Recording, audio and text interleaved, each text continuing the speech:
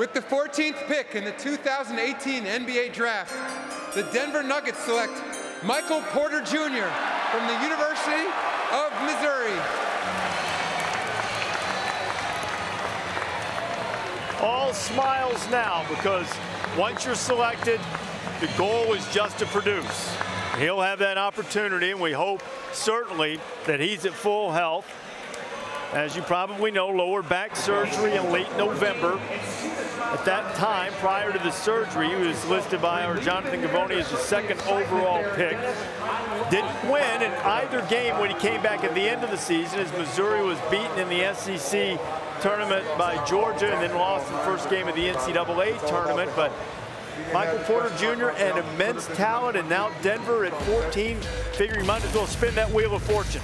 Well, I do think we're right in saying that he has the ability on the offensive end of a number one overall pick. He's a very gifted athlete, very fluid at, at 6'10 with a seven foot wingspan and very skilled. But where he really excels is shooting the basketball. A very high release, he can elevate on his shot. Uh, he picks and pops uh, to three-point range.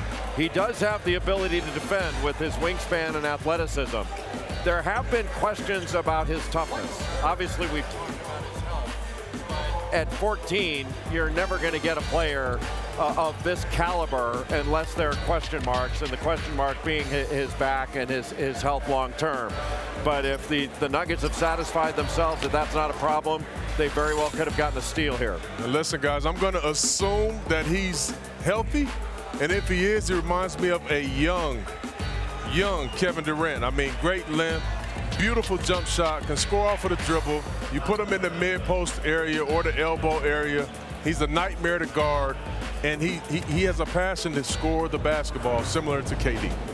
Boy, you just had to really give it to those poor fans in Seattle by showing KD in the Seattle uniform, didn't you? Yeah, I'm sorry. I'm sorry. Michael Porter Jr. on his way to Denver, and he's with Maria. You know, Michael, you described your playing career as riding the elevator until your injury, and then you had to take the stairs. So describe what it's like to get through all of that adversity and make it to this stage still as a lottery pick.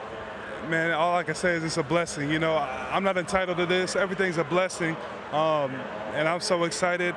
Um, you know, my path was different, a little different than everybody else's, but I'm gonna make sure that this pick is this organization's best pick they've ever made. You said one of the big questions that you had to answer throughout the draft process was, will you be able to have a long playing career? How would you address that question right now?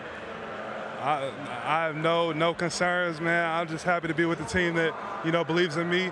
Uh, you know, like I said, I don't feel entitled to this. It's a blessing. I'm happy to be a Denver Nugget. All right. So anyone who hasn't seen your game, describe it for them. Uh, you know, I'm a player, um, you know, that, that can do it all. I think when I'm on the floor, you always have a chance to win. Um, I'll never disappear on the floor, and um, you know, I'm a winner, and I, am gonna I'm gonna help this team win. Is it your expectation to play next season and in summer league? That's my expectation. Um, you know, I'm feeling good, and you know, it's just giving me extra pep in my step, so I'm feeling good. I think Michael Porter Jr. brings versatility to any team, and I, I think that's the one thing they specialize. You know, it's funny having PB here. The one question for him has been, can he find that place that he has that dog mentality? Um, Not you, Michael Porter. No, Michael Porter Jr. yeah, because we he, know you've got it. We've heard people say that. Um, you know, I think sometimes you see this with guys who have a lot of skill. Okay, he has the body, he has the skill set for it, but does he have the drive? Mm-hmm. Does he have that drive to go next level? And I think that's the only thing that's looming around Michael Porter Jr. Also, I've heard some hesitation after he gave some of his comparisons about who he thought he played like.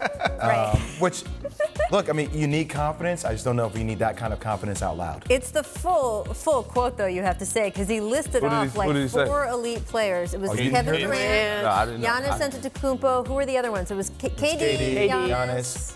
Oh, you need to slow um, down. I, know, I think after that we all And then, yeah. but my favorite part was he listed these players, and then he said, "It's an honor to be in the conversation with them." No, he's like. To which we, we were like, have, "But we all have you started yeah. the conversation." We all have conversations with ourselves, like little inner monologues and stuff. Yeah, like just that. not in front of a camera. right, exactly. You've got Happy Zach and Grumpy Zach. Yeah. So you've got. All, all I, am just going to say that at 14. Mm-hmm they're crazy not to take Michael Porter Jr. Right. I'm sorry. Yeah. I think this yeah. guy, and you, we're talking about does he have motivation? If the fact that he dropped to the, 14th, 14th pick right, doesn't motivate him, right. I don't know what will. I think this might be, we might be sitting here someday saying this was like. Well, how do you think he fits in with the Nuggets? I think he fits, if, if he is motivated, if he is healthy, all those things, he fits in with any team. He's an elite talent. Remember, this is a guy we were talking about going number one a year ago.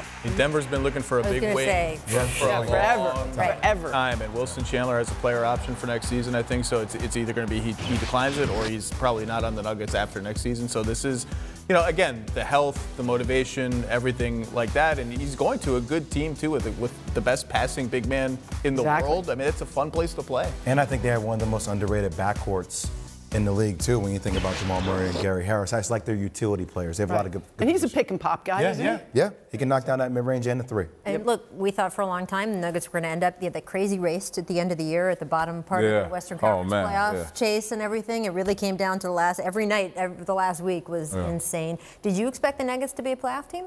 Um, no, because we were trying to get in. Well, I, I, so no, uh, no, not at all. We were trying to get that spot. I mean,